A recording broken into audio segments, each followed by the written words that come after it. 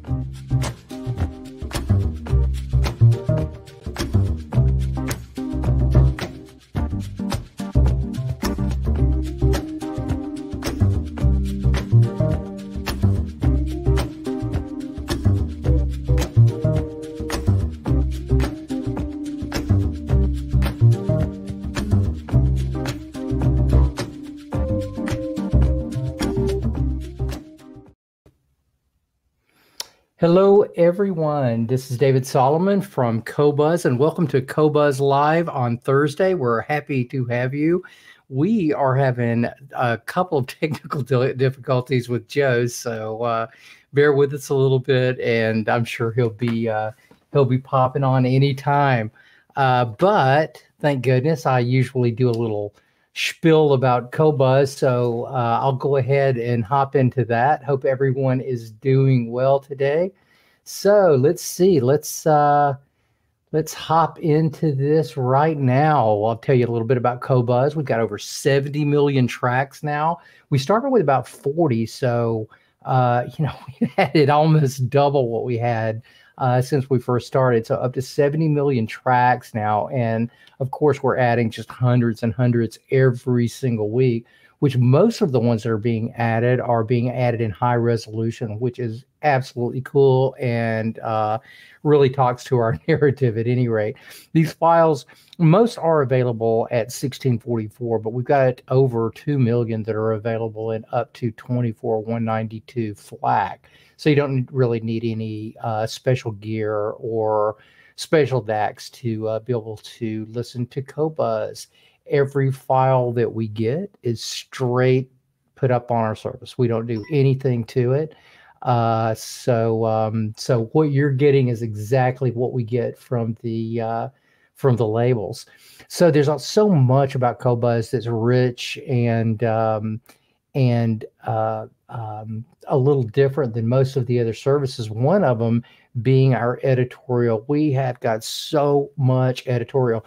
So if you're if you're a music lover and you're a music information lover, you will you probably won't be able to read everything that we've got on there, and we're adding things in daily.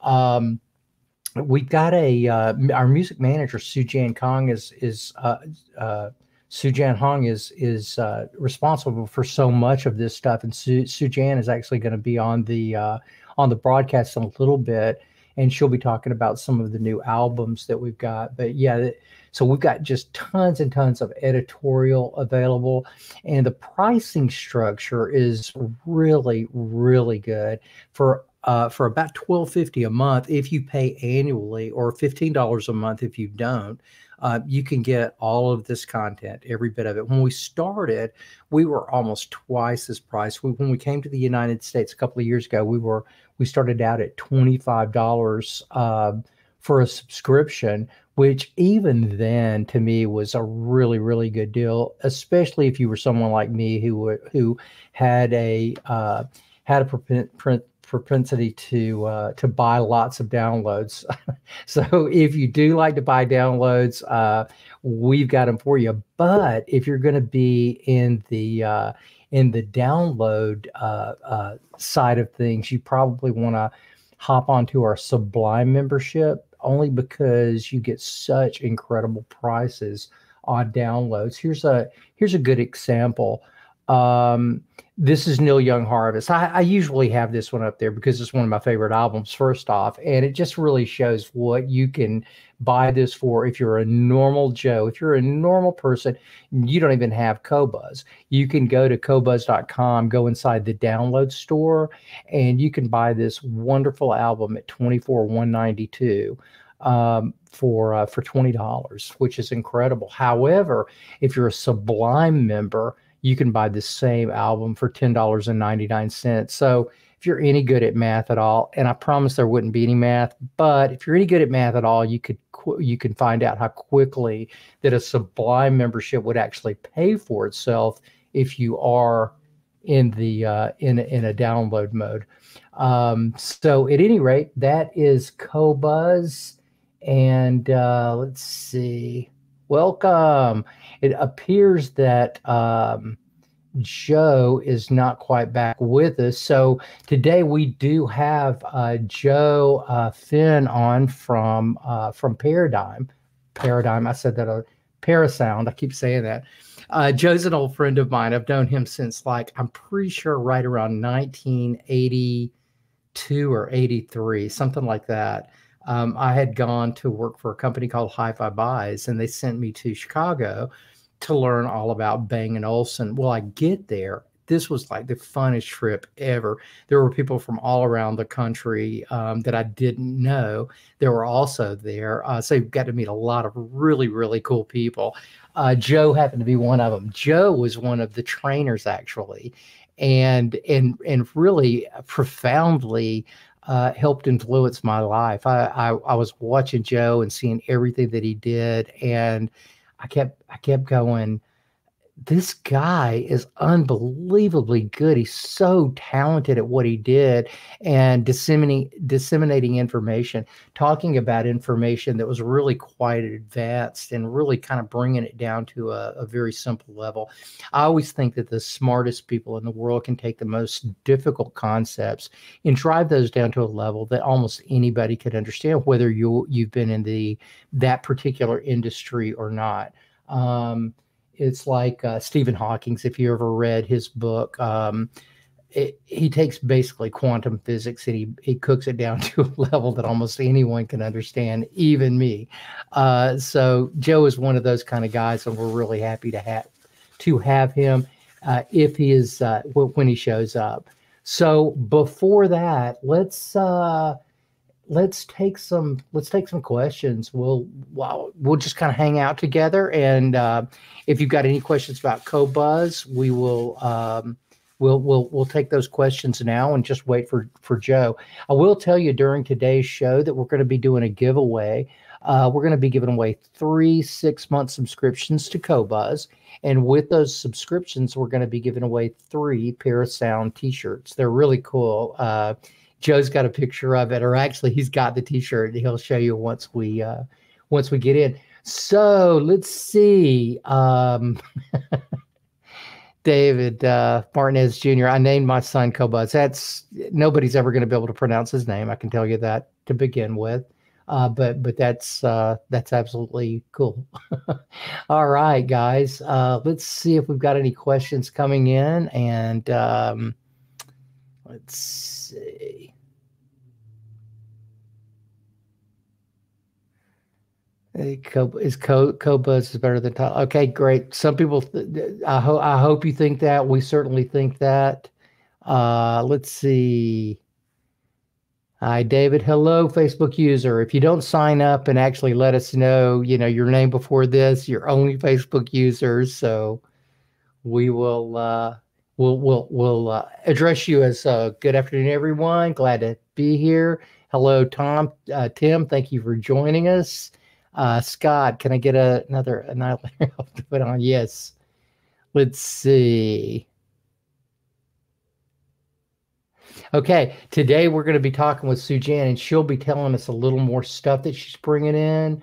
Mark Freed is here from AXPONA. We're looking forward to AXPONA. We're going to be doing shows starting in, think July, may be the first one. There's a Northwest Pacific call, uh, show. I think it's called the Seattle Audio Fest. Uh, we're going to be attending that, and uh, I cannot tell you how much I have missed being out. Uh, let's see, Facebook, another Facebook user, best streaming service on the planet. Period. Thank you very much. We think so. Wow, I'm we're we're getting so many accolades here. Anybody got any problems? Anybody? Let's see. Uh, how do I sign up? This is James Owen. Okay, James, thanks, buddy. Uh, just go to Qobuz.com. Everyone uh, on planet, or, or, actually everyone in the United States, can get a 30 day free trial uh, with Qobuz. Let's see. I'm in Seattle. How do I get there? Just look up the Northwest uh, uh, show, and there'll be uh, there'll be all kinds of stuff on the on the internet about it. If not now, then very soon. A couple of really really good guys are going to be showing doing this show. One of them is Gary Gill. He's the he's the gentleman that's responsible for the DC show, the Washington DC DC show, Capital Audio Fest, and the uh, the other fellow, um, Lou. Um, oh Jesus, Lou Hinkley, who owns Daedalus Audio, another really really cool guy. Both of those guys got together and decided that they needed a show in Seattle or the or the Northwest at some point in the Pacific Northwest. So as soon as I heard about that, I'm I'm going. I can't wait to be there. I am very much looking forward to it. Um, Hey, well, we've got another. Oh, for really got a got a complaint. Sometimes my Qobuz crashes and doesn't load music when I have downloaded it, so I usually don't download anymore. I just stream, and uh, it loads fine most of the time.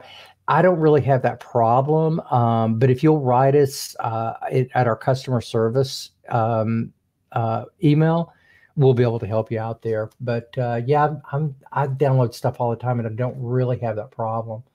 Um, let's see what else we get. Do you recommend uh, Qobuz? Yeah, uh, I do have some recommendations there uh, because I actually went through this uh, with my son. Um, I, I put Noah on Qobuz, I guess it was about two years ago, and uh, he had been an avid Spotify guy. And so we, I, I put a no, no on it. He's going, Dad, I, I really don't want to do this. Um, I, I, really, I just want Spotify. And I'm going, well, you know, this is the company that I'm working for, and I'm your dad, so you're going to support me whether you like to or not. Co Spotify is gone. So I got him onto Qobuz, and uh, a few months later, he hopped up to the office, and I let him listen to the difference. I had let him listen to the difference before, and he said he couldn't tell the difference. It didn't really matter. Uh, I let him listen to it about, I guess it was about six months later, and the first thing he said was, "What's wrong with that that signal?" So I switched back to Qobuz, and I switched back to Spotify, and he's going Oh, oh yeah. So Qobuz does sound a lot better. So yeah, get your kids on there. I think it's about 26 bucks a month, 25 bucks a month. You could have five people in your family on our family account, um, which is really cool. Um, so at any rate, um, hop on Qobuz and get your kids on there. Once you do get them uh, used to high resolution, they really won't be able to to go back or they won't want to go back if they're if they're actually listeners. I was really blown away when um, when uh, Noah said this to me. Uh, let's see. Oh, and some of you guys may have heard about Spotify going to high res. What they're actually doing is they're going to go to full res. They're going to go to a system very much like Deezer. So what they'll end up having is 1644 um, sound quality, which is a lot better than they've got right now, but it certainly doesn't match into. Um, uh, it certainly doesn't uh, hop into high res territory, as in anything uh, that's 24 bit or uh, or uh, higher speed. So, at, at any rate, uh, yeah, we're going to do that. Let's see. Neetha, we have got, it looks like someone on here it might be Joe. Is that Joe's computer by any chance? The Genie Sacrum? Scram? Sorry. We're going to bring him on and see. Is this Joe? No, it's not. Hi, it's Jeannie Schramm from Parasound. I, I'm cued in to, to listen to Joe with you. And Richard says hi, by the way. Tell um, him I said hi. Hi there. Hi, David. So, uh, yeah, I've reached out to see. Um, yeah, Joe's having some computer problems. I figured that must be the issue because I know he was very excited to be on your show. And yeah, um, excited to have him. Okay. And I'm going to buzz off because I can't begin to answer anything that Joe could. no problem. I was just I was just making sure that that, that wasn't Joe was thinking, I wonder if yeah. Joe's maybe using Joe's, someone else's computer. Joe's going as an alias. No. we'll give uh, we'll give Joe a few more minutes, and uh, okay, if he doesn't great. show up, we'll we'll reschedule. Thank, okay. Thanks a lot for uh, hopping on. Okay, everybody, we're back with Qobuz Live, and it's just me. So uh, this is the first time I've had a kind of uh, uh, weird situation like this. So we're going to give it another few minutes, and, and if if uh, Joe can't show up, then we'll we'll reschedule and get him back on. We really want to show you some of this stuff from Parasound. But let me tell you a couple of things that we were going to end up talking about anyway. Um, one was just the signal to noise ratio of this uh, of this product, which we find incredible incredible, and you won't find this in in many uh, in many amplifiers and preamplifiers that cost this little. Um, and I'll I'll explain what I'm talking about.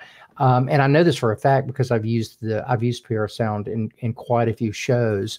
Um, but you look at their spec sheet and you'll see most everything they do is somewhere above 110 dB signal to noise ratio. And you may want to know, you know, what does that mean? Um, and I'll never talk about specs that actually don't mean something. So let me just go into a little bit of detail on that when we start talking about um, signal to noise ratio, it really refers to how black you can get your background. In other words, how quiet is your system. So if your system is like super, super quiet, like the Parasound is, I, I don't really recommend doing this, uh, but unless you really know what you're doing, but you can take their their uh, integrated amplifiers or any one of their preamplifiers and literally crank the thing all the way up to like way past where it would be clipping, way past where you would be catching the woofers if you actually put a signal through that system like that. And what you're going to find is it'll be totally and completely black background. In other words, it'll be it'll be totally silent.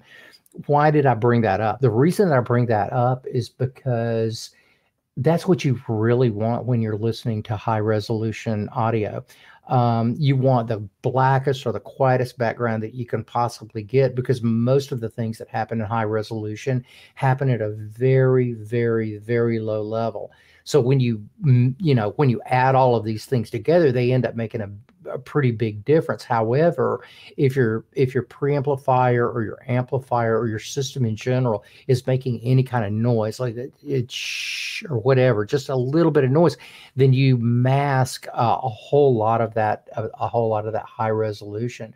So that's why I wanted that. That was one of the things that I was talking to Joe about early on. I'm going, you guys are totally genius for coming up with circuits that will actually do that because it really does meet the modern world of high resolution.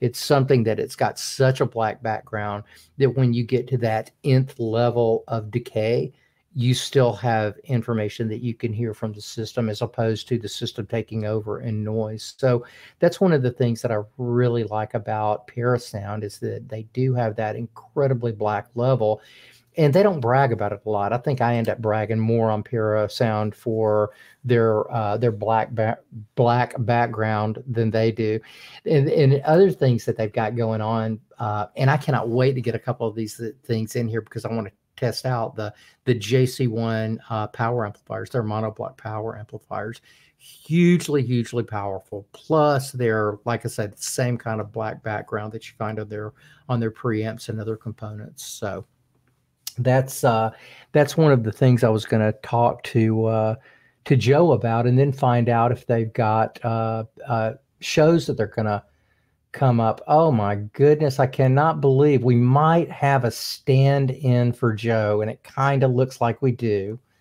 So I'm going to bring this. I recruited. hey, David, how are you? How are you doing? I'm okay, thank you. Didn't even have, didn't even have time to brush my beard. Jeannie came running out and said, "You don't want to miss this opportunity." So here I am. Well, welcome. Thank you, Jeannie, because that's what's on your screen.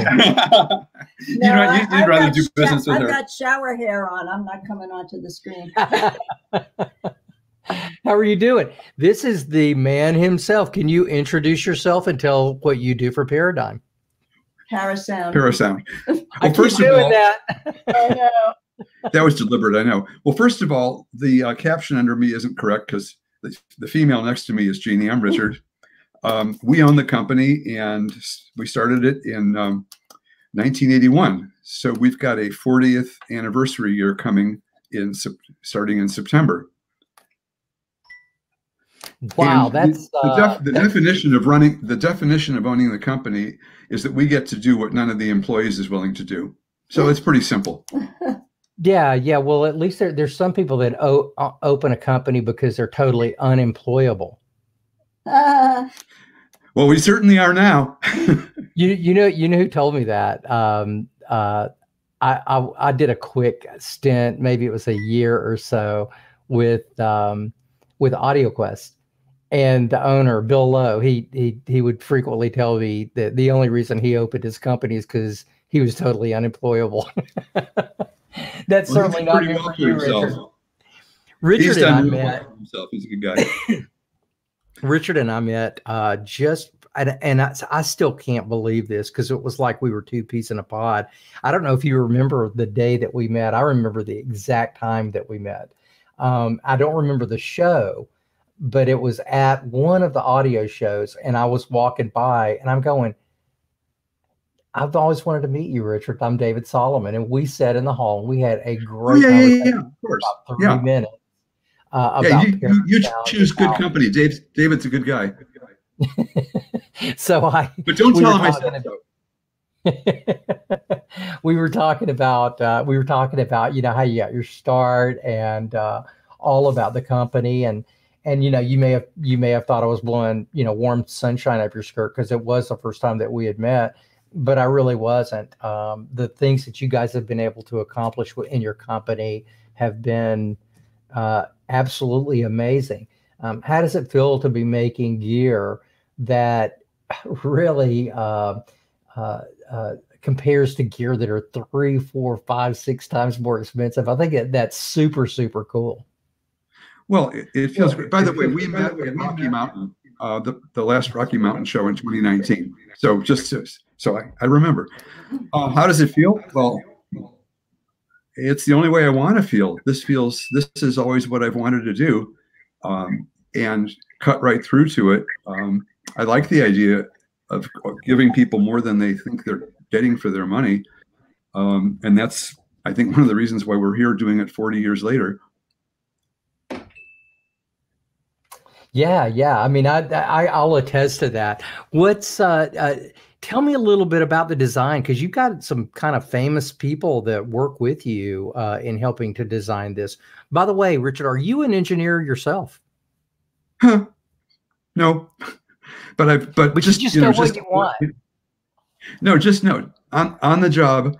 Um, I've accumulated a lot of knowledge, and um, but I don't want to. I, I don't want to um, embarrass myself by trying to tell you all of the technology of the products. But I've got a I've got a pretty good I've got a pretty good idea of what's going on and why.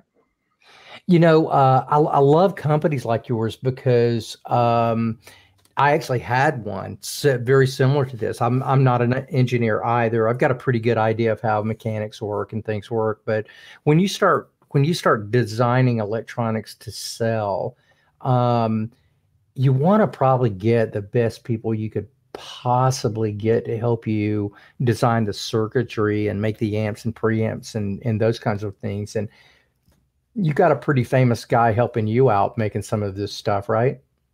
Yeah, he called me at eight o'clock this morning. Very rude, I think.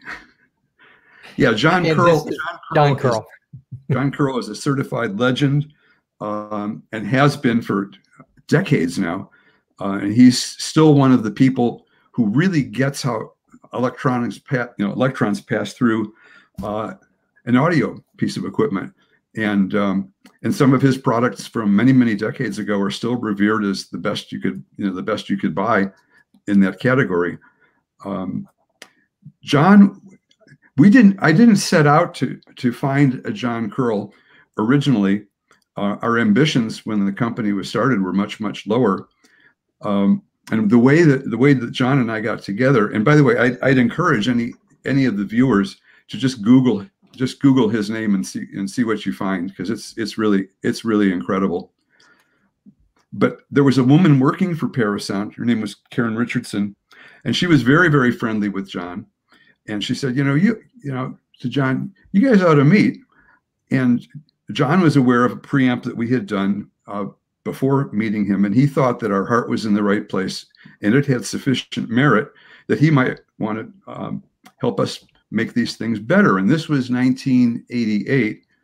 Um, so we we got together and put him on a retainer, and the first product of his uh, influence to Parasound was the original JC1 which after some amount of uh, some significant amount of time and development came into the mar- market in um, early 2003 uh, and the template of that and what you know john's sensibilities about that still still inform everything that we do in our halo line that you know that bears john curl's signature on it but he So really, in the really Halo gets line. it and when he try and we starts talking to physics physics to me Um, I don't do so well, but I say, John, try English, and then I, you know, then I can get it. But we've learned so much from him, and unlike, you know, what one of the advantages of having a guru um, is there's a certain honesty to it. I admire people who come up with great products, and they might be very smart and they've got a good idea, but unless they've got the the grounding in physics that Curl has and the kind of experience he's had, um, you know, some experiences better than others. There's a lot of people that really believe their products are fantastic, and, and many of them probably are, um, but a lot of them, not so much. And the higher up you go in price, the more visible that can be. You've got a pet, you've got a pet idea, a pet concept about something, and you build a product around it. Um, and that's you know, and that's okay. It's just not what we choose to do which is why our products can stay in the market for so long. We don't, you know, we don't change them every year. We don't upgrade them. There's no A version, B version, C version, or whatever. We just decide to get it right in the first place. Um, and so whenever you're ready to make uh, any kind of new product, is John one of the guys that you're? He's he's he's one of the first uh, first on the on the list to call. It depends on which product you know it is. We make I don't know 40, 45 different pieces of equipment. Some of them much smaller, some of them uh, for whole house integration and things like that. When it gets to, when it gets to the, the big boys, um, then John's John's in at the very very beginning. Now sometimes he's in by virtue of the fact that there is technology that we have been using that we intend to use in that piece, and then John will bless it and make sure that we haven't screwed it up, uh, you know, and diminished it in any way. Um, and but generally we, we lay out what we want the amps you know our amps and preamps to be um, and then come to john and say is this feasible? You know what can we do to make it better than we've done it before? and things like that. So um, yeah i can be a real pest to him. Yeah but, well. converse, but conversely we talk we probably talk three times a week. And i know this sounds weird um, for your viewers but i think it's safe to say that i learned something from just about every conversation i have with him and what a gift that is. Richard, I think you should say something about the JC1 Plus and succeeding the JC1. I'm being prompted. I, I, can I can hear your producer just just to your left. Yeah, so I, I, um, I appreciate that. right, so at least the audio can go in. well, I think I don't know. I don't. By the way, how much time do we have? I don't. I don't want to be. Uh, We've got about a half an hour left, and then we got uh, Sujan uh, Sujan Hong's going to come on and and just a a little bit do a little little Friday, you know, what's coming out tomorrow uh, session. Well, we've got about a half an hour or so. Okay. And and Joe is, by the way, Joe, Joe's computer really is having some issues. So I just uh, encouraged him to jump on when and if his computer is ready, so you'll have double trouble on here.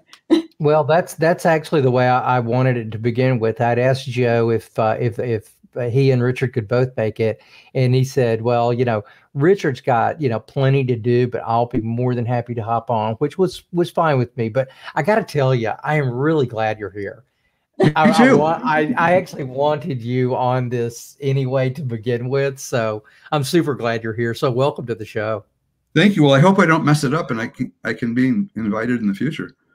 You're, you're not going to mess it up. If you wanted to see somebody mess it up, you were you you probably did already when I was you know starting this whole thing, and I was kind of semi freaking out. I was trying not to show that I was freaking out, but I was like going, "Oh God, I you wonder were, what." You were being so sincere, right? Well, so, you can still be you can be sincere while you're freaking out, but I was still well, that's right. I was still a little bit worried. But thank you very much for uh, I, I don't even want to say take it up the slack. This wasn't this wasn't um, this wasn't Joe's fault. And just so you guys know, uh, we are giving away for for the folks that that are just joining us. Uh, this is Richard Schramm from from uh, Parasound, and he owns the company and um, I'm a huge, huge fan of these guys. And then Joe Finn, who's their national sales manager, uh, will be coming on hopefully in just a little bit. Um, and then we are gonna uh, whenever Sujan comes on, we'll we'll we'll get her to come on. But I've got a couple questions for you. How Please. have you guys been doing? Have you been do Have you been doing okay throughout the pandemic? Are you selling uh, as much as you were? Are you keeping your company healthy? How are you guys doing? Well, that's the sixty-four dollar question these days. Um, when we when we first got the instruction to shut down the company, which was March 16th or 17th. Um, she's she knows better. It was really shocking, um, and my first thought was, uh, well, you know, audio is a is a luxury product. Uh, the dealers are all going to go out of business. Um, the industry is going to tank. I'm never going to collect the money that's owed to us, and I was feeling pretty down about that.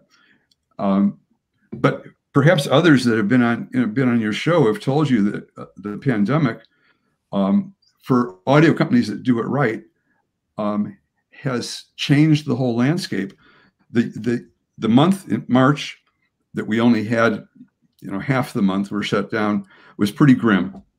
And I was thinking, okay, this is the end of audio. Um, I'm done, and this isn't the way I wanted it to happen. The next month was quite a bit better then May was the best May we, that we'd ever had, and onward and upward. So, as you've probably read, there's a lot of uh, industries that have uh, just prospered for the pandemic, with people wanting to upgrade something in their home because that's where they're working now. And it turns out that audio, um, good audio, uh, has been a huge, huge recipient um, of that. And the only thing that makes me not feel guilty about it is at least I know that we're bringing a lot of pleasure to people who otherwise wouldn't have it. And anything that anything that makes music in your home sounds better, you know, sound better is worthwhile. So the business has continued to grow, and we find ourselves now in a different kind of a dilemma than we ever expected, which is we can't get enough product. Um, I'm sure others can't, and the the reasons for that are that every every um, part of the chain is trying to uh, take advantage of this opportunity. So it starts with the parts makers who now require when you might have been able to buy a hundred of something before, you know, now they want you to buy 500 or a thousand of it and take it or leave it. Uh, parts that might have taken two or three months to get might be six months now.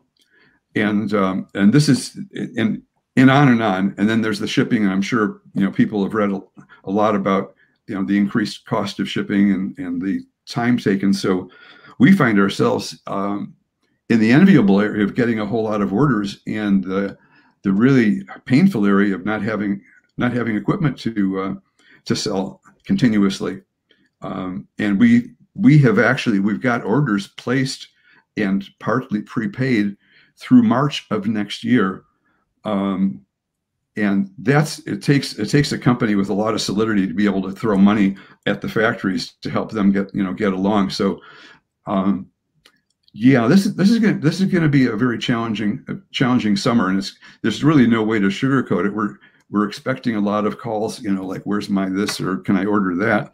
And there's going to be some days that we're just going to shake our head and say sorry but please don't forget us well, I'm glad to see that your company is still making a lot of products that are in high demand. Uh, I think this is just a, a resurgence in audio, uh, and I'll, hey, I'm gonna, I'll tell you about a, that. imposter.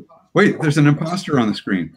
Oh, is this uh, is this my old buddy Joe Finn? David, this may be your old buddy Joe Finn, but I'm seeing a Jeannie Schramm here in your podcast, and I'm not sure that's Jeannie Schramm.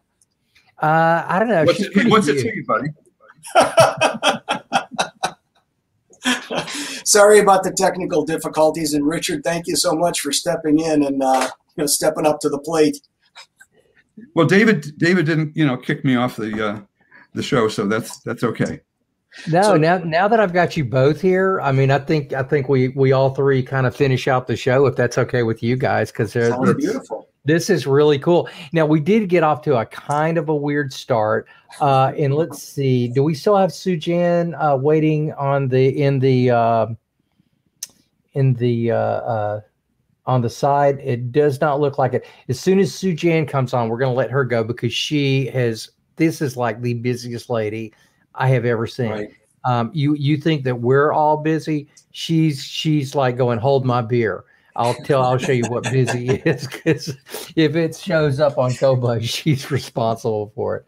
So as soon as Sujan comes in, we'll uh, we'll uh, we'll get going. In fact, I think I just see her. So what we're going to do is we're going to take a break for just a few minutes, and and and uh, you guys will just be on the side. So stay right where you are. Uh, Joe, it's great to see you. We're going to catch Good up. to in a see you, my friend. Richard, great to uh, uh, great to see you too, and thank you guys for showing. Um, so now we've got. I hate to say this because it's it's kind of my show, but we've got my favorite part of my show, which is that has nothing to do with me. It's we've got uh, Sujan Hong up right now, and she's uh, she's going to do the music disc section of our show. Hello, Sujan. How hey? David. I'm, I'm glad, glad- you have power again. Uh, well, it's just been an incredibly strange day. I, I Yeah. Sujan's talking about uh, this morning. I woke up and for the first two or three hours, I had zero power, which is not the most comforting thing to have when you're gonna. Because you know what I'm thinking as soon as that happens, right? How am I going to do the show today? so it's like that would have been me having the technical difficulties, and I got to tell you, I refuse to do this at Starbucks with a. Uh, with an iPad. It just would look terrible. How are you doing? I'm doing all right. Uh, the Mets just won their home opener, so I'm in a good mood. Yes, go Mets. I can say that because I work for a company based out of New York, and by golly, I almost feel like a New Yorker, except for my accent. That, that just doesn't. They barely let me in there talking like this. So, uh, Sujan, thanks for uh, thanks for coming on.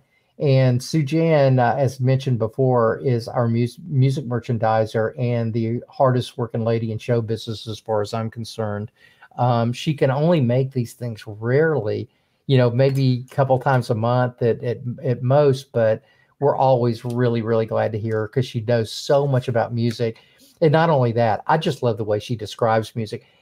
Have you seen how many, when you put stuff up and you're talking about it, after you finish the next several days, we are, I am barraged with people calling me and writing me and putting things on streaming music matters going oh tell sujan thank you. Oh i love this. This is so cool. I'm, I'm sure you get those kind i hope you get that kind of feedback but it's it's it, it is my truly my favorite part of the show Cool. Well, that is really great to hear, and I'm glad people are um, checking out my picks and you know just enjoying the music.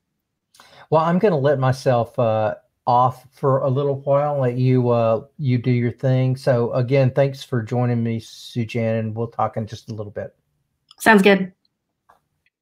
All right. Hey, everyone. Uh, so, we're going to kick things off with this week's album of the week, which is a deluxe reissue of the 1980 double album Live from Fleetwood Mac. Uh, you know, that little band that went viral last fall. Um, I'm sure many of you have seen the TikTok video of that like super chill looking guy cruising on his skateboard on what looks like a highway in LA or somewhere in California um, while he's taking swigs from a bottle of ocean spray cranberry and lip syncing to dreams. So that video, you know, introduced the band to a whole new generation of fans and returned um, the album Rumours back to the charts after a 42 year year gap. Uh, but on Qobuz, though, that band, uh, you know, the band continues to be one of our listeners' favorites. Um, Dreams is actually the third track here. Um, Stevie Nicks sounds incredible on this recording from the Palais du Sport Sport Sport in uh, Paris from uh, June 1980. The track list is actually stitched together from uh, the 112 shows that the band played between October 79 and September of the following year. Uh, the band recorded audio and video at every one of them, and there are at least three continents represented in these 30 tracks. So, you know, this isn't a replacement for all the live shows we've been missing for the past year, but it's a really great reminder of the unparalleled experience of seeing a band at its peak. And for more Fleetwood Mac, you can check out our panoramas and playlists on Stevie Nicks and the band's early blues period with Peter Green. And this will be available in 2496 from Rhino. So next up, we have Rhiannon Giddens with Francesco Turrisi. They're calling me home. Uh, Giddens is probably best known as one of the founding members of the old timey band Carolina Chocolate Drops. She was actually not named for the Fleetwood Mac song, but after a Welsh goddess. They're Calling Me Home is her second album with Italian multi instrumentalist uh, Turrisi. They had previously worked together on 2019's There Is No Other. Uh, so, though both artists are based in Ireland uh, when they're not on the road and have been there since last March due to the pandemic, uh, you know, the lockdown stirred up a lot of strong emotions about the concept of home uh, and, and, as well as death uh, in the two. So, the exploration of these feelings resulted in 12 songs recorded outside of Dublin um, in less than a week uh, a dozen workings on the concept of you know going or coming home. Uh, the songs range from the title dirge written by Alice Gerrard, where Giddens sings over uh, mournful viola, uh, to a wordless interpretation of Amazing Grace with uh, vo uh, vocals augmented by bagpipe over a repetitive drum beat, to Nena Nena, an Italian lullaby Turrisi used to sing to his infant daughter. And this is available in 24.96 from Nonesuch tomorrow. Next up, we have uh, Matthew E. White and Lonnie Holley, Broken Mirror, a selfie reflection.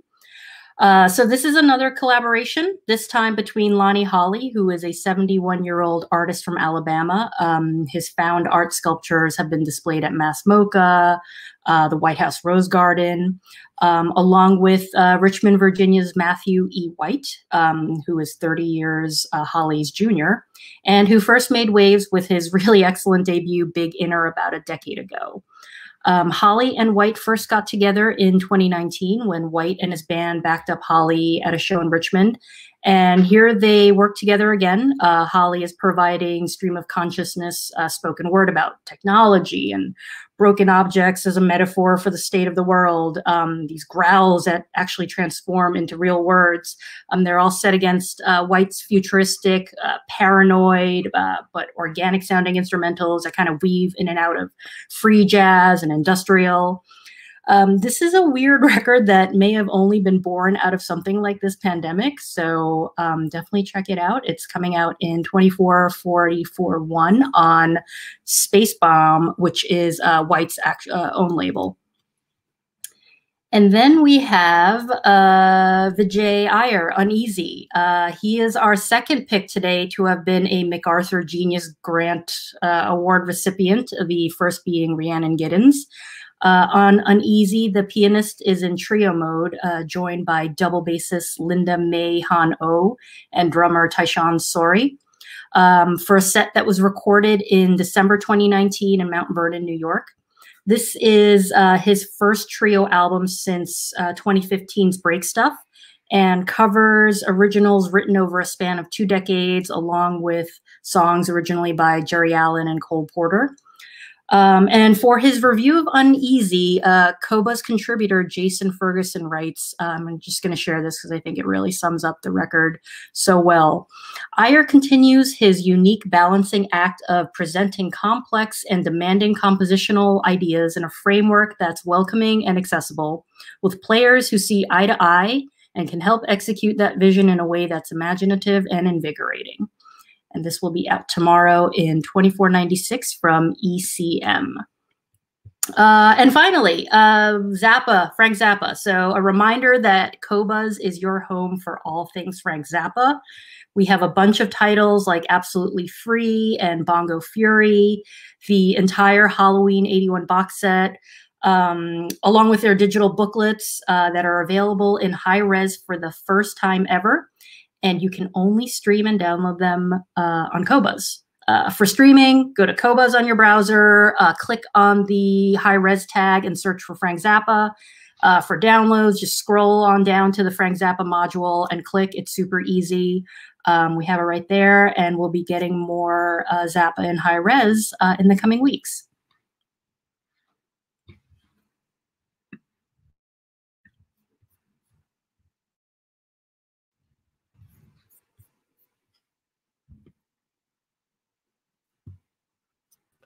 I had muted myself. So I should have done sign language. I said, thank you so much. It's always great having you. but I do, I do want to know one thing. Yes. And this is just, this is just personal between you and I. Mm-hmm. Which, what's your favorite Fleetwood Mac?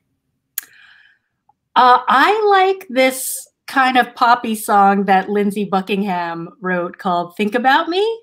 Oh, okay. So the so the the newer Fleetwood Mac stuff. You like the newer stuff, right? I mean, yeah, you know, that you can't go wrong with, you know, something off of Tusk or Rumours. Um, I'm sure the Peter Green blues era is our jam, but uh, it is. I love. I just love the uh, the randomness of the whole thing. It's basically how they like start and stop anytime something's. Uh, most people would have gone, okay, new take. We got to start that all over. But these guys just keep going. So I, I, just find it totally entertaining, and I do love the music. But you're right. You're uh, you you nailed me. You you always do.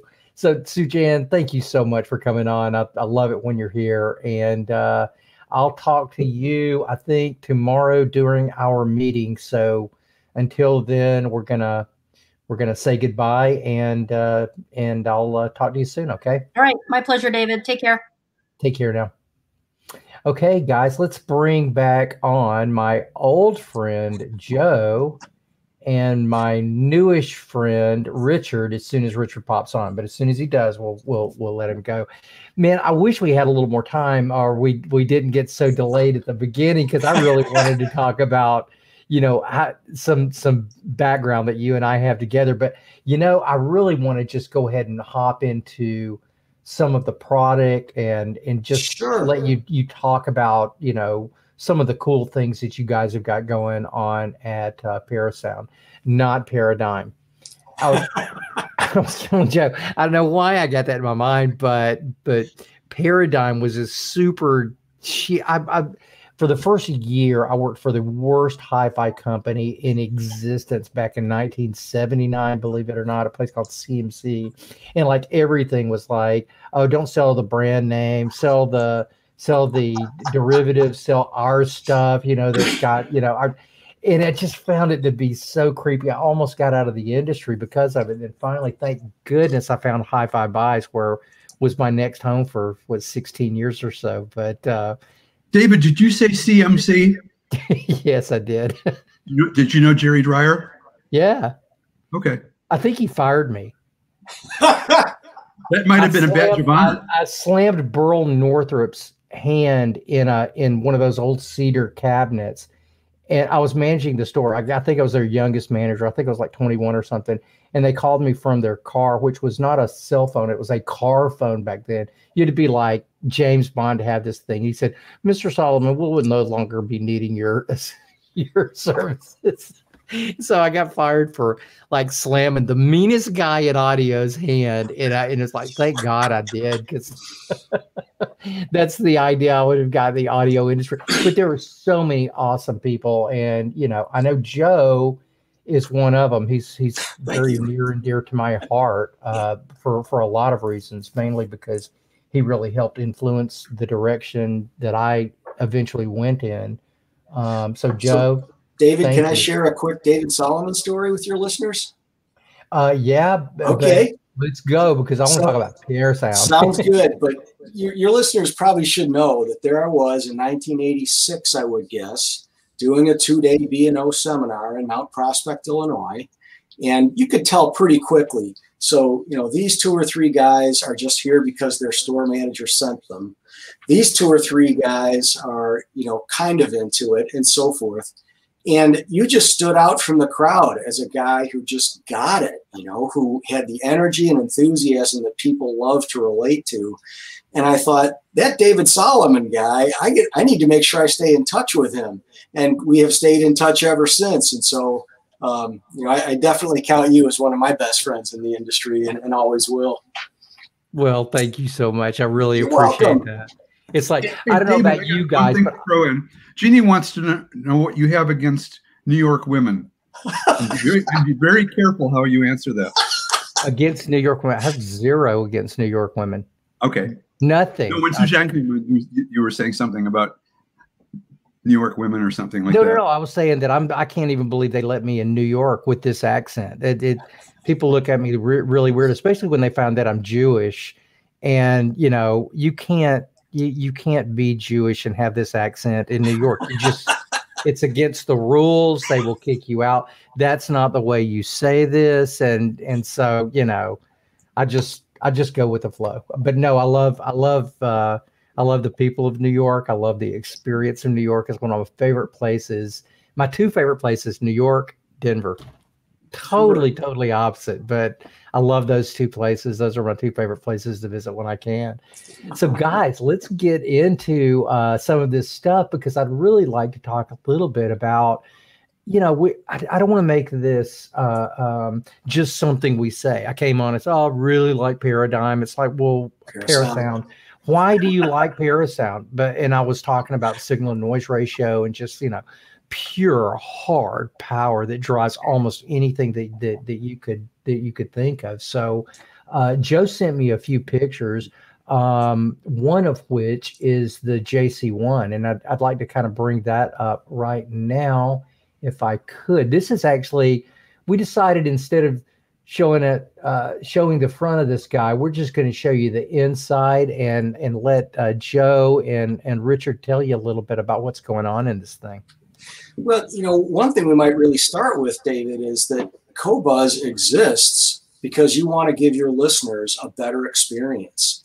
And obviously there are all kinds of manufacturers out there who make the very least expensive most entry level products in the marketplace uh, but we really appreciate the fact that you have just you and your Qobuz comrades have uncovered another way to deliver a better experience to people because you know an amp like this incredible jc1 plus one of the things that it's really best at is showing you details you wouldn't hear unless you had a you know a high quality musical experience feeding it. So whether that's a really great turntable and cartridge or a Qobuz or any other high resolution source, you know this kind of a product is really good at helping you know helping deliver that. So I think is- this goes back. Thank, thank, thank you, Joe. You were talking about uh, John Curl previously, you know, and, and his and his magic, and there's probably no better example of it than the JC1 Plus because we can't talk about it without the history of the JC1. Um, and, and the, the credit that Curl deserves for designing a product that was so good, so far ahead of its time, and such a great value that it was in the marketplace for over 15 years. It was a stereophile Class A recommended component twice a year for all of those 15 years. Um, the first unit that was built sounded exactly the same as the last unit that was built. And so the. Um, oh, just keep talking. These guys. Okay. Yeah. All right. Um, so I think so. I think the, the idea of like, you know, first principles. The reason that that product stayed in the market for so, so long is because John knew so much uh, that and other people just didn't.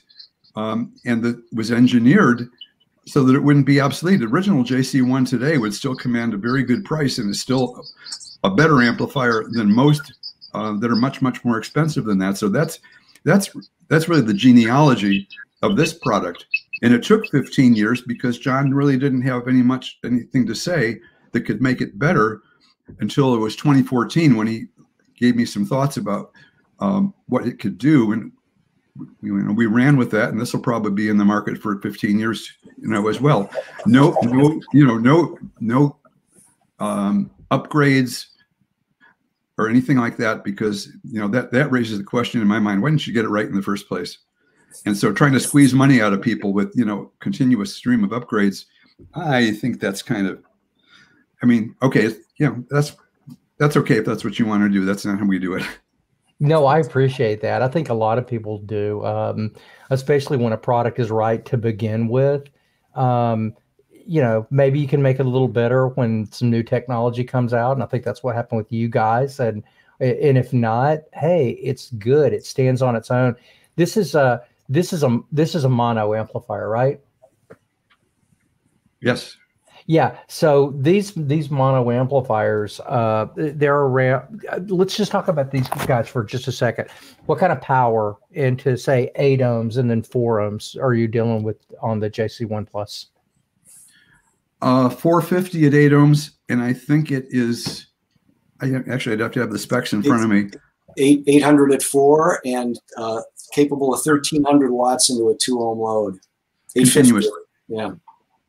So this is an amplifier that that like the very best amplifiers that have ever been made can drive speakers that are just absolutely nearly impossible to drive. Personally, guys, I love monoblock amplifiers because I want as short a speaker cable going to my amp to go into my speaker as I can possibly get. I don't mind running long interconnects. I don't run, especially when they're balanced. And you guys have got this thing yeah. balanced.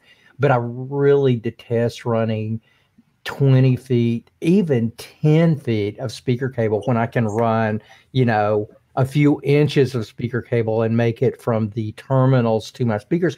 It makes your system just sound better, period, no matter what. Would you guys for all the right reasons? Yes, absolutely. Yeah, yeah. So these are monoblock amplifiers, and they, you know, while they in some circles would be considered extremely expensive, in my circle, it's it's incredibly inexpensive for what you get.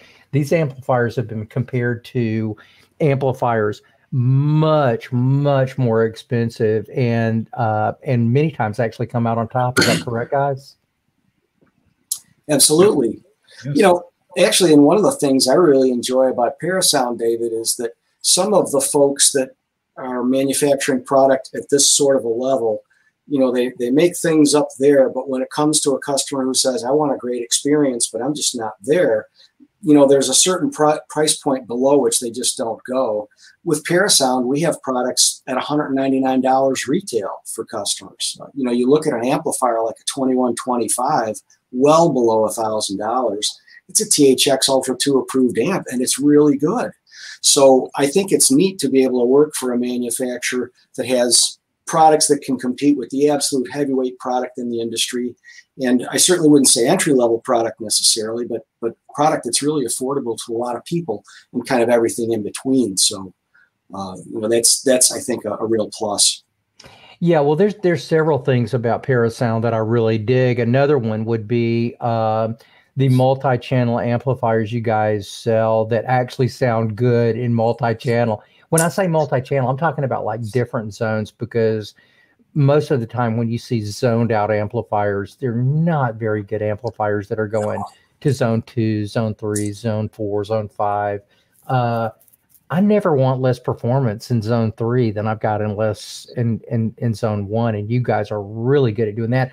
We're going to get you guys back on the show and talk a little more about that. But for now, why don't we stick with the uh, kind of the main gear and, and, and, and then we can kind of build on it from that because I want to save a little bit of time to talk about the, the Hint 6, which I think is maybe one of the most relevant integrated amplifiers uh, on the market today. But before we do that, let's just talk a little bit about the uh, the JC2. Um, tell tell me a little bit about the JC2 BP guys. Sure, Dave, uh, um, Richard, you want to go or? Yeah, well, it, since Joe only joined us a few years ago, uh, and this is um, predates him, um, I I can give you the, the, really the idea of why did we do this in the first place, uh, and what it what did it mean and what's it about? And this came about uh, from John. Uh, he knew that there was a really good way to make a preamp that didn't have to be uh, just you know extreme. Um, and we and we put in a lot of the details. If you look at the way this thing is is uh, built, you can see there's two substantial aluminum barriers in there. One of them to totally uh, isolate the power supply from the rest of it, and the other in part because there's a little microprocessor behind the front panel that takes care of all of the remote control and other uh, other things like that, which makes it the the last time I looked, this was the highest signal to noise ratio of any uh, commercially available um, preamplifier. It was like 115 dB unweighted or something like that, which is why it's had such you know such a good life overall. So this is, and John and John brought in Carl Thompson, who's been his circuit board design uh, partner for many many years. Uh, so there's some magic in there. Uh, and a gentleman named Bob Crump, who passed away some time ago, and he was the one who could really actually hear a difference in you know different component parts, wires, whatever there was. So we had the the ability of, of all of this um, just huge mental horsepower in putting it together, and um, which is why we're still why we're still making it. There was there's we actually don't know how to make a better one right now. So this is this is our best preamp with with history. Yeah, 114 dB is crazy signal to noise ratio. This is one of those pieces that I was talking about before. If you happen to miss the beginning of the show when I was kind of here by myself.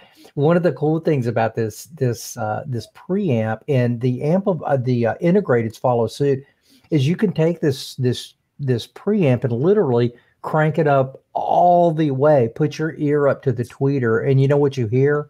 Nada. You hear nothing. There is absolutely no noise that's being that's being uh, produced by this thing. Um, and this is I'm not I'm not one to tell people go out, you know, study the specs, look at the specs, and buy on specs. I'm I'm absolutely opposed to that, but I I'm not opposed to um, letting you in on the little secret that the only way that you can really create high resolution is if your preamplifier and your amplifier are quiet. And when I talk about quiet, I'm talking about dead quiet, black quiet. If this correct, guys, is that I think that's as good a synopsis as I could think of. Yeah, and from a Qobuz perspective, of course, David, again, we're talking about a higher resolution source. Well, if your equipment isn't capable of, of you know, letting you hear what it can do, you might wind up disappointed. But uh, I think this is a, a, perfect product to match with Qobuz. Uh, yeah, any any of our products that are, you know, uh, that, that customers can get, they're they're going to be a fine match for what you guys can offer. And I'm very excited that you've got all the Zappa product coming out. That's awesome. all of this what? I'm sorry. All the Frank Zappa product. Uh, yeah, yeah, we had uh, we had Ahmet Zappa on last week, and uh, the the the stuff that that Sujan was talking about a little while ago is going to be exclusive to Qobuz for uh, awesome. for some time now. So we're really uh, we're really happy about that. The um, the I think the next thing I want to go over, we're already over time, guys. Is that okay with you? I, I okay, great. So is it okay if we go just a little bit longer? Sure. Okay, great. Because if not, it's like, oh my gosh, why do we even have this?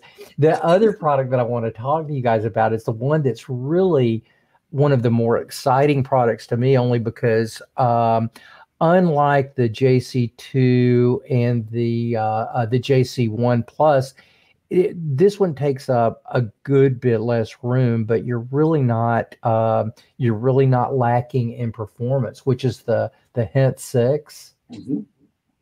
This little guy here.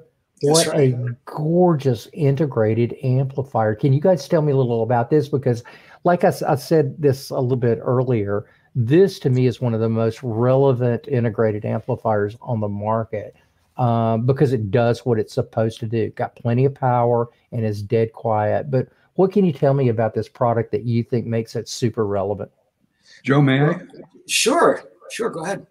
So this um, this product took a long time, and, uh, and and a lot of the credit goes to another uh, Parasound employee. His name's Bob McDonald, and he used to be um, an integrator, custom installer uh, and brings with him uh, a lot of knowledge about inputs and outputs and features and things like that that that basically can blend something into um, a multi-channel system or just be a, a, you know a straight out two-channel product. The power amplifier part of it we borrowed from our A23 um, Halo uh, amp that uses John Cur- you know John Curl's topology choice of parts and things like that. And there's no compromise in this comparing it to uh, the the amplifier that's you know just an amplifier. So the um, that was that was really the the objective for it, and we, we wanted it to do would be to perform as well as a separate preamp and power amp with no uh, no faults, no nothing to complain about noise or anything like that. So that was the mandate for it. It took a really, really long time uh, to do it, uh, but it's it's using the the, the high cost Toshiba uh, FETs that are you know that are so um, rare. In fact, I think we're the only ones that actually have them. Um, so it's it's as good it's as good as a good uh, separate preamp and power amp conveniently in a in a three rack space um, product. And then the, actually, for from my perspective, the rear panel looks better than the front panel because that's that's where all the business is. Now Joe has another. You know, Joe will have his own opinion. I, I concur. Uh, yeah, you got all the inputs and outputs that you could want. There's a half a dozen analog inputs, including the phono input, four digital inputs. For a lot of customers, David, I think, you know, let's keep it simple. In this one product, I get really everything I need from an electronics perspective. I just start plugging in sources and connect my speakers, and we're good to go. So, um, yeah, that's I think the real beauty of an integrated amp is you, you can make one choice and, and be done with the electronics part and move on to the rest of it. I just wanted to point something out that illustrates how Parasound looks at things. There's one of the three knobs on the left side of the panel is uh, a gain control for a, subwoofer. Why would you want to do that? Well, who wants to get up and, and, walk over to where the sub is and make an adjustment if the music you're listening to, you know, should should require something like that? It doesn't cost anything to do that. I mean, it's just minimal compared to the rest of it. But what you have to do is know about it and think about it and execute it. A lot of companies, you know, a lot of companies are like that. And I think some of it is my my background before starting the company was in retail, and there's a lot of things you learn in retail. Um, you listen to customers and they tell you what they want. That mindset kind of informs everything we do at Parasound. And we have some very lively uh, product uh, meetings periodically, and, and Joe's actually the the most polite of all of us. well, and even you know a feature, David, like so many of your customers are walking around. Probably ninety nine percent of your your customers are walking around with one of these guys in their pocket with all kinds of their favorite music loaded onto it. But these guys were never intended to be sort of audiophile devices. So that little aux input that's on the front, that's right next to the headphone input, has a 12 dB gain boost simply to be able to you know give this guy its best opportunity to sound as as high resolution as it can sound and you know really be a valued source in your system so there are a lot of little touches like that that as richard says you know you just listen to customers and think about their experience what do they want and you know you sort of build to that mindset and and uh, that's that's a part of what keeps people coming back to parasound over and over again when they're purchasing so the, there's a couple of things that that to me the, the, the there's a few things that make this a super relevant piece today as well.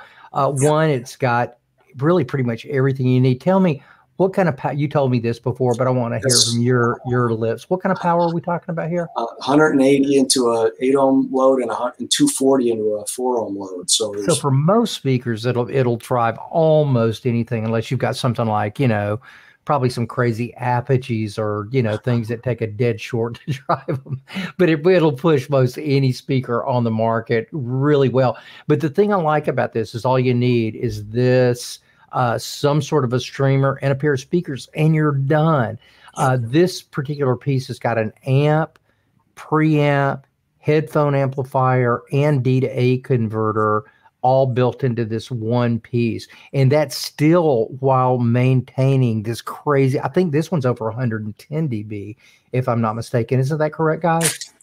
Double check it real quick. Yeah. So this one's got crazy signal to noise ratio as well.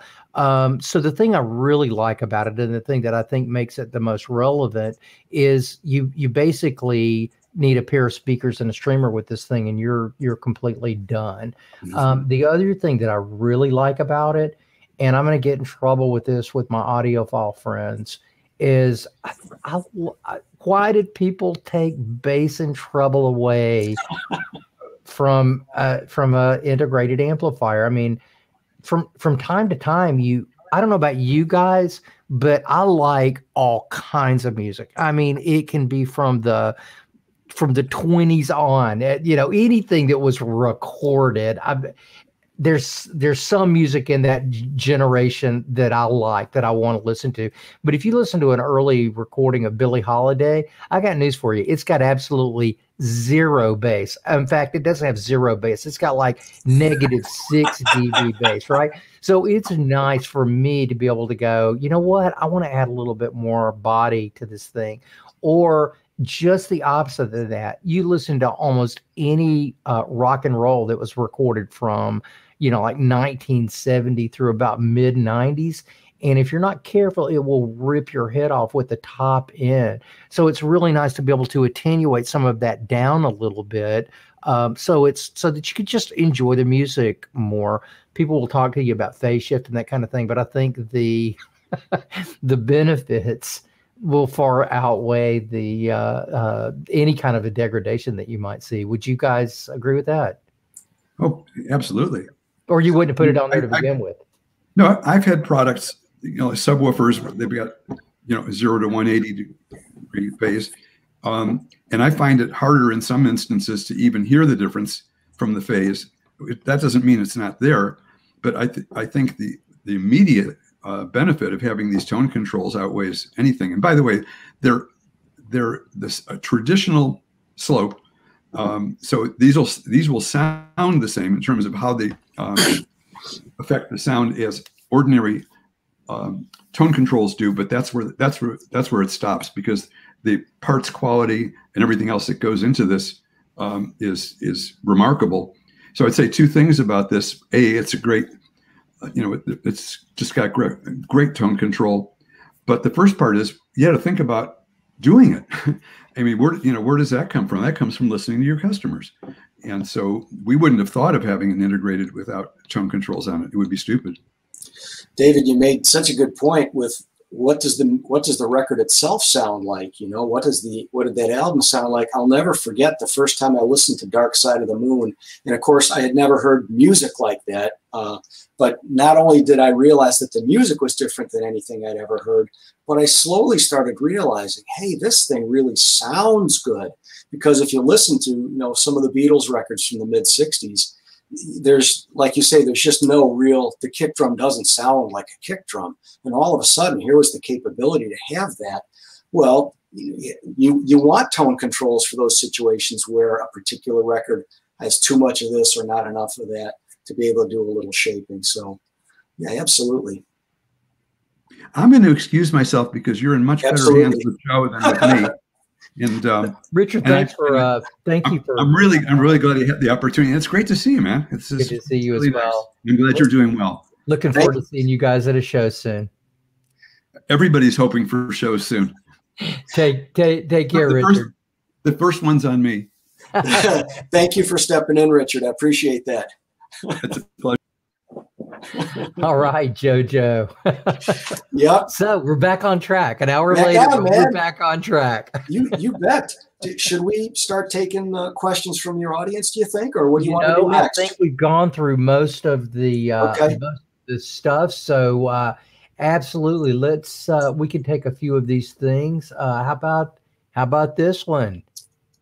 Can you talk? This is uh, a churro. Thank you for uh, writing a churro. Can you talk about the headphone output how capable is it? Is it is it you know I have not listened to the headphone output, so I couldn't tell you. It is a good sounding one. I, I want to make sure I don't overstep my bounds there because, as you know, people are buying these days two and three and thousand and dollar and more expensive headphones. Um, but I think you'll be impressed when you listen to a product like the Hint 6 and its headphone amplifier because we did pay attention to it and it does really sound good uh, yeah, those in every training I do on these products, I talk about those two little inputs on the extreme left side of the amp uh, because that and and you know again the ability to have these things actually sound pretty good, uh, you know, is is really I think important. So. Two uh, things, Joe. Number one, sure. Uh, when you say these phones sound good, are you talking about from an analog level? Or are you actually able to use like a camera kit or some kind of a uh, a USB converter and and actually run them into the uh, amp digitally. Well, you could use a USB converter, but I'm just talking about that front panel connector for you know just plugging gotcha. in. You know, your your buddy shows up and he's got all his favorite music and wants to play you some of his faves. So yeah, yeah, cool. Isn't, isn't it awesome that Qobuz enables people to to you know enjoy music in a way that you don't have to lug around? I mean, when I was in retail, and I'm sure when you were, I literally lugged around a little like a briefcase filled with record albums. You know, mine wasn't little. It was, it was just crazy. Um, and then of course, you know, we graduated from that, and then we had our booklets of CDs, and yeah, music has come a long way. At this generation, um, oh my gosh, I wish I was a little younger to enjoy it for a little bit longer time because it was so difficult in our day to, you know, pull up what you wanted because you couldn't pull it up. You had to go buy it, right? Right. Well, we've already answered this, but Leonard uh, uh, asks how many watts is the integrated? I believe you said it's 160 right into eight and and 240 into a four ohm load. So it's yeah. very capable. And I did want to comment, by the way, we frequently, I would say, get uh, emails or occasional phone calls uh, from Magnepan customers. And you know, you wouldn't think that a big set of Maggies would do well with an integrated, but they do great with our integrated. So um, yeah, that's it's a very capable product. We take that whole, you know, being able to drive the two ohm load part seriously. Yeah. Uh, yeah, and just for those of you that that, that uh, are wondering what Joe's talking about, when you start running, uh, speakers have got more or less resistance depending on uh, on the in, impedance that they're that they're running at, and the lower impedance speakers, like when you're dealing with a two ohm load, you are literally running uh, more than twice of the twice the current through the amplifier as would be required when you're running like 8 ohms right? 8 ohms is mm-hmm. a lot easier. 16 ohms would be even easier than that. There're not a lot of 16 ohm speakers out there these days but but the lower the impedance on the on the speaker the harder it is for an amplifier to drive it. In fact if you run a 2 ohm load into many many amplifiers these days you end up letting the smoke out yeah. yeah right. Just stop the show. just totally stop the show. So that is that is a real big deal, and I'm glad you brought that up. Um, and all of your amplifiers are AB amplifiers; they're not digital amps, right? We are doing some things with digital amplifiers now. Your main stuff, the JC one, oh yeah, those are all uh, AB amplifiers, which is a uh, right. Just to give you a little background on that, those are a lot more expensive to produce mm-hmm. than a digital amplifier would be. There's just a lot more parts to them. There's a lot more biasing to, to do to them. There's just a lot more stuff that you have to do to an analog amplifier, an AB amplifier, to make it uh, to make it sound good. Right. And, you know, again, some of your customers, some of your listeners will already know that there are differences in efficiency with outside of the impedance issue you addressed a moment ago, there are differences in efficiency. So a pair of you know Tekton Moabs or a pair of Klipsch corner horns, you might be in a 95, 96 dB efficiency arena. I was talking with a customer the other day who has an 84 dB efficient speaker. So, you know, again, you, you really have a need for a good amplifier if you want to be able to play reasonably loudly and, you know, you, and you don't have an efficient speaker. So, yeah, and even if you do, there's there's this thing called headroom that is really really good to have. People don't typically blow their speakers from having too much power. They typically blow their speakers from not having enough power. So if you try to feed a speaker um, a signal that you're trying to get louder than the amplifier will produce, that produces the that produces DC straight to your speaker, clips the amp, and any of that extra is is direct current speakers or voice coils do not do very well with direct current. That's they right. typically start, you know, they pr- typically melt or they typically just just blow. Yeah. Right. So That's right, right. it's always better to have a little headroom. It's just like you don't want your car if you're only going to drive at 55, you don't want a car that will only do 55, right? It, it's just too hard on the engine.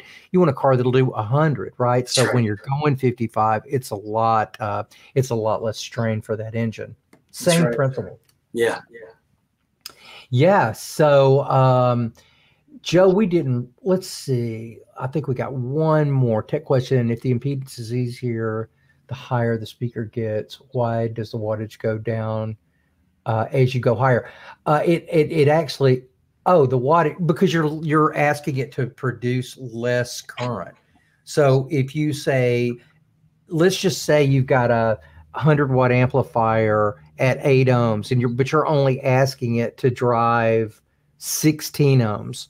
Um, it's not going to put out as much power there. It'll probably put out roughly half that much but hopefully they have um, uh, dealt with that at the speaker level and made it that much more efficient. So it's really just resistance of electricity. It's right it's it's uh, it's not even a spec that you'd need to pay attention to. Just find the speakers that you really love and you know you'll you'll end up figuring out the amplifier that that it needs. So if it's a speaker that drops to 2 ohms, then you want an amplifier that will at least drive 2 ohms. If you're conjugate right. at 8 ohms to 6 ohms, it just doesn't take that much current. But right. Right. So Brian, just to kind of amplify your wonderful question, most specs that you can look at online for any given manufacturer's amplifier and might say that this amp is capable of 100 watts into an 8 ohm load, but that's always measured with an 8 ohm load resistor.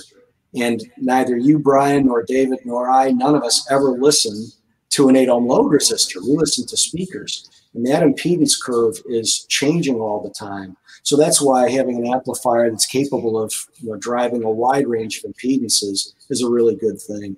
Yeah, and an 8 ohm speaker is very rarely an 8 ohm speaker. Right. That's nominal. Uh, that's a nominal impedance that it'll that it'll uh, register with, or it's 8 ohms most of the times. But there are 8 ohm speakers that will drop down to a quarter ohm. That's right.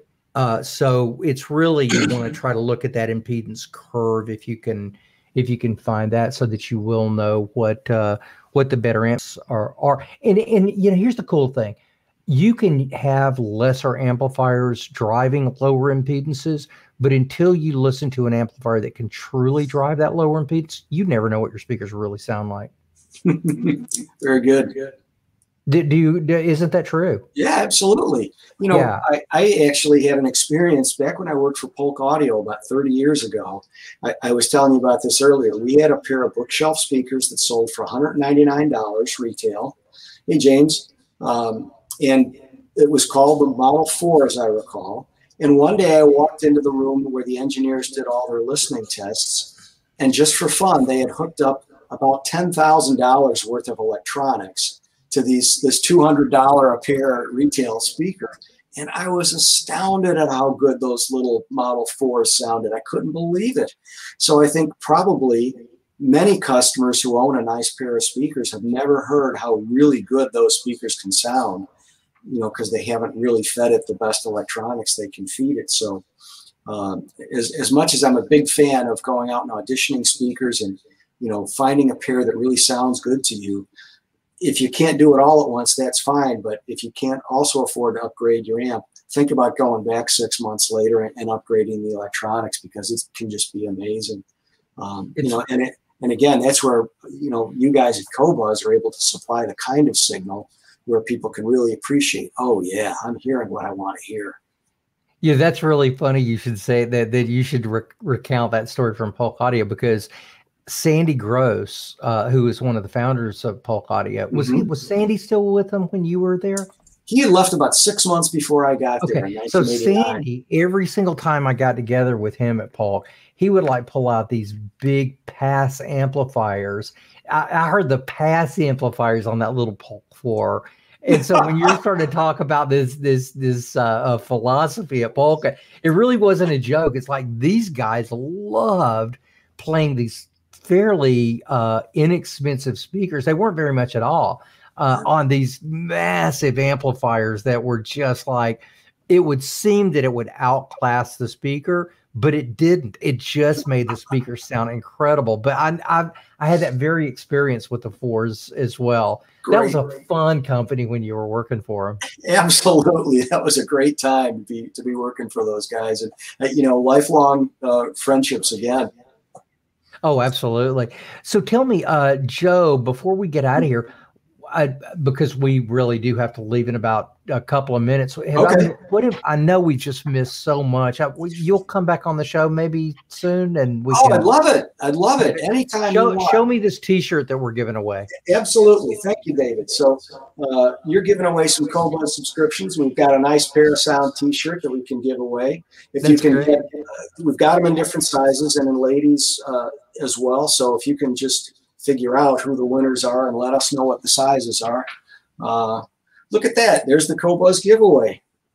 Yeah, there we go. Go to that uh, go to that website or go to that link and uh, fill it out, and we'll get you. Uh, hopefully, you'll win either Qobuz uh, or the t-shirt. Actually, that's what we're doing. We're going to give away three Qobuz uh, memberships and three. There's six months, and then three of the uh, Parasound t-shirts. But um, yeah, go, go in there and and and enter and uh, and and hopefully you'll and hopefully you'll win. Uh, Joe, what have I left out? I know I've left out like the most important thing in the world that you wanted to say, uh, just due to lack of time. But what, what did we leave out that you'd like to end? Here's with? something important I'd like to to share with you, and that's that I want to be back on your show again as soon as possible. So you you let me know when you've got an opening. I know that all kinds of industry people would love to be on your show, but uh, if you've got an opening at some point in the future, you let me know so we can come back and and we'll have some more fun. Great. Well, thank you so much. You're welcome. And if you don't mind me asking you, because the question um, went out there, my favorite Fleetwood Mac tune because you know obviously Qobuz has now got you know the Fleetwood Mac catalog more available than ever before. My favorite tune is one from kind of an obscure record called "Mystery to Me" that was during the Bob Welch era, and oh. it's the oh. fourth song on it. It's called "Hypnotized," and it has this Mick Fleetwood drum beat that you're just before the song even really gets going you're thinking okay what's this going to be and then you know it's just a beautiful little tune so so what's your favorite fleetwood mac song well, it's it's actually I'm an album guy, so it's okay. like the original Fleetwood Mac. It's that's Peter my Green. that's my favorite Fleetwood Mac album. And yeah, anything with Peter Green, I don't know. It's it's just that that's one of those bands that changed one million just 180 degrees and kept the same name, right? Because it's just not even close to the same music. But yeah, anything with Peter Green is my I, I love that era. Okay. And but I can appreciate the uh the uh, Lindsey Buckingham and the, you know the Stevie Nicks and that I, I, like that era as well. They're you know it was just a great band in general. Oh well. oh well.